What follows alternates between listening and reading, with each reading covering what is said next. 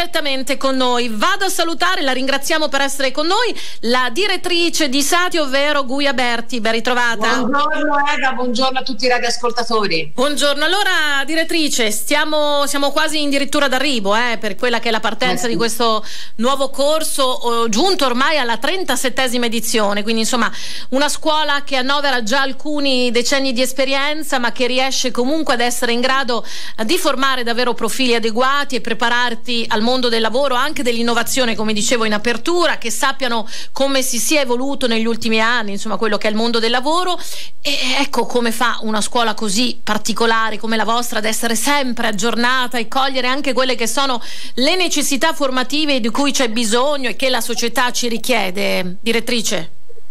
Allora, eh, Eva, innanzitutto ben trovata, era un po' di tempo che non ci, non ci vedevamo personalmente, non, non, ci, non ci, sentivamo, eh, perché lasciamo quasi sempre no, ai nostri partner, ai nostri ragazzi, alle imprese che con noi lavorano di venire in radio e raccontare quello che sono un pochino i loro problemi. Ed è proprio da qui che, che, che, che parte la mia risposta, no? avere e ad ascoltare quello che sono le necessità delle imprese. Eh, Scuola Scienze Aziendali nasce nel 1985 proprio per, per, questo, per questa ragione, quindi rispondere alle esigenze occupazionali del territorio quindi ascoltare le esigenze del mondo del lavoro e avere una risposta adeguata. Quindi questa è un pochino la, la, la prima ragione. Ehm, eh, poi, date anche le nostre dimensioni, eh, è una scuola che riesce a modificare eh, e ad adattare a quello che sono appunto le necessità delle imprese i suoi piani di studio. Io eh, ricordo che lo scorso anno abbiamo rivoluzionato il nostro eh, il programma del, della specializzazione di marketing, volgendola molto al digital eh, in tutte le sue sfaccettature, quindi cercando di inserire il digitale in tutte le materie che noi affrontiamo durante il corso, perché questo è chiaramente quello che ci chiede il mercato. No? È come io lo dico sempre, devo eh, formare ragazzi e ragazze eh, che possano trovare un lavoro, se io sono distaccata in maniera eccessiva da quello che mi è, è l'aggiornamento, io rischio di formare disoccupati o persone non adeguatamente formate per affrontare il mondo del lavoro e per essere inseriti negli organici delle, delle imprese. Quindi questo diciamo è cosa, ecco questo, questo, questo processo è un processo che le scuole come l'università, che chiaramente si parla di numeri, di numeri molto molto diversi, non riescono a fare oppure lo fanno con più lentezza e con più fatica. Quindi insomma un modello di scuola che riesce davvero a mettere in atto quello che forse il sistema, come dicevamo prima, pubblico, insomma, riesce a fare con più difficoltà, abbiamo, abbiamo affrontato spesso questo tema, aprendo quindi a, proprio anche un dialogo diretto con quelle che sono le imprese ma anche con gli studenti. Ecco, mh, come fate a raggiungere gli studenti in procinto di scelta del loro futuro professionale, quindi insomma i ragazzi dai 18 anni in su, direttrice? Ma allora, eh, i canali sono tanti, partendo dai canali social, le pubblicità, eh, quindi tutto il mondo, eh, tutto il mondo de, de, de, della, della, pubblicità, quindi in tutte le sue sfaccettature. Chiaramente nostra, eh, il nostro canale principale, il canale privilegiato, anche se molto faticoso per tante ragioni, è il canale diretto delle scuole superiori, quindi andare eh, nelle scuole superiori rivolgendosi ai ragazzi di quarta ma soprattutto di quinta e raccontando chi siamo, che è una, cioè raccontando quello che, che, che la realtà di questa scuola, che è una scuola del territorio per il territorio. Eh, come lo facciamo? Lo facciamo eh, raccontando loro che cos'è il mondo del lavoro, eh, come banalmente noi andiamo nelle scuole, siamo andati all'Istituto Datini di Prato l'altro giorno con una platea di tantissimi ragazzi e abbiamo raccontato loro come si scrive un curriculum. Eh, abbiamo raccontato loro come si affronta un colloquio di lavoro, chiaramente un colloquio di lavoro alle, alla, di, di, di eh, persone alla prima esperienza lavorativa. Abbiamo fatto una simulazione prendendo dei ragazzi dalla sala, quindi cerchiamo anche di attirarli e raccontargli quello che siamo anche attraverso quello che facciamo. eh, perché credo che sia una cosa molto importante.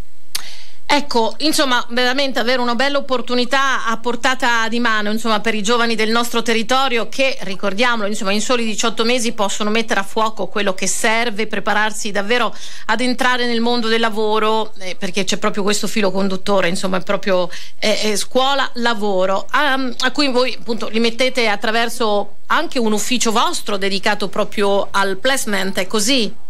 Sì, abbiamo un career office, ora eh, in questa, siamo una generazione che ci piace usare tantissime parole non,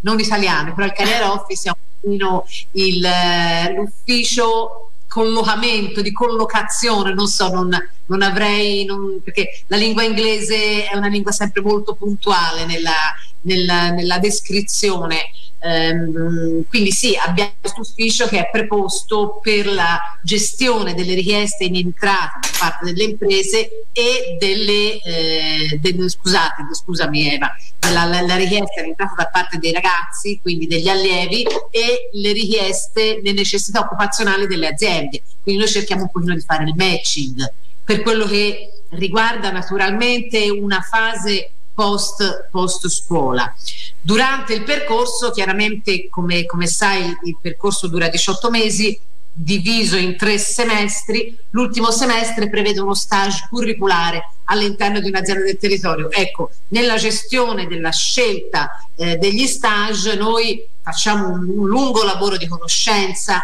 del, dell'allievo, dell'allieva eh, e cerchiamo di incrociare le necessità dell'impresa de, de, de, e degli allievi. Questo è un lavoro molto capillare che possiamo fare anche perché non abbiamo numeri molto alti e quindi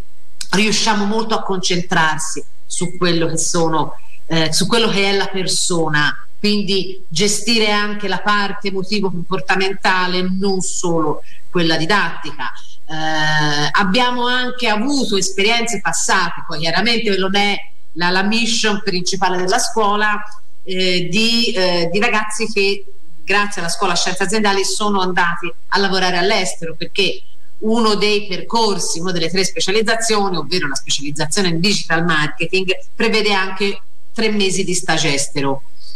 Eh, è un'opportunità molto importante, un'opportunità molto bella, la scuola eh, rimborsa praticamente tutto dal volo all'appartamento, li mettiamo a lavorare presso aziende o presso istituzioni italiane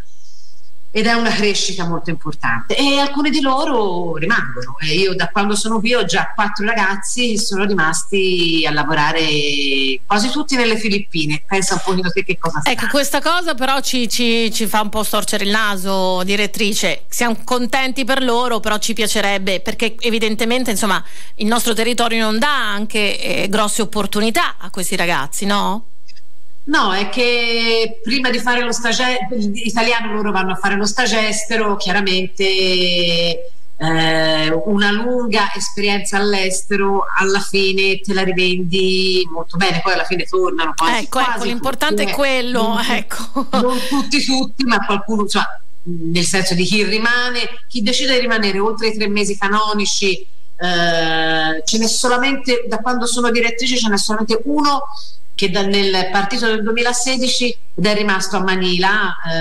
a lavorare. Certo la sua mira, la sua intenzione nel suo cuore lui dice sempre prima o poi tornerò, però per ora è là eh, a. Se ritorna lì bisogna creare anche le opportunità di lavoro a questi, nostri, questi nostri, giovani senza ombra di dubbio. Insomma, veramente una bella realtà, eh, la Sati, tutta fiorentina, che ha proprio come suo valore fondante quello proprio di diffondere cultura di imprese e dotare quelli che poi sono appunto i manager del futuro delle giuste competenze. Una realtà che ogni anno inoltre mette a disposizione anche diverse borse di studio, giusto?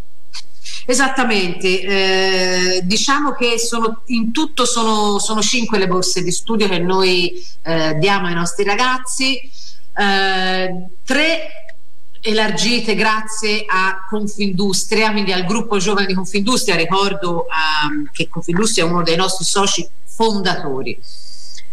Eh, una eh, del, per il business tutors erogata da KME che è un nostro social sostenitore e un'altra di 2.000 euro quindi sono diciamo 5.000 euro quelle eh, di, di Confindustria suddivise tra 2.000 e 1.200 5.000 euro per chi vince il business tutors e 2.000 euro per la miglior presentazione del business tutors. Quindi ecco c'è stato in passato chi ha vinto la borsa di studio di Confindustria, ha vinto il Business Tutors e con il rimborso spese del, del, dello stage alla fine non solo si è, si è, ripagato la retta della scuola ma addirittura ci ha guadagnato, quindi insomma l'impegno è sempre pagato. Grazie, grazie davvero alla direttrice Guia Berti della Scuola grazie di Scienze Aziendali e Tecnologie Industriali di Firenze per Valdesi per essere stata qua con noi. Ricordiamo anche insomma, il progetto Murate Idea Park, ricordiamo dunque che il 37 37 corso in gestione di impresa sta davvero per iniziare, le candidature sono ancora aperte solo fino a lunedì 24 ottobre. Ricordate tutte le info sul sito www www.sati.it ricordiate sati ssati.it grazie ancora adesso noi diamo la linea alla regia per poi tornare ancora ad occuparci di innovazione a occuparci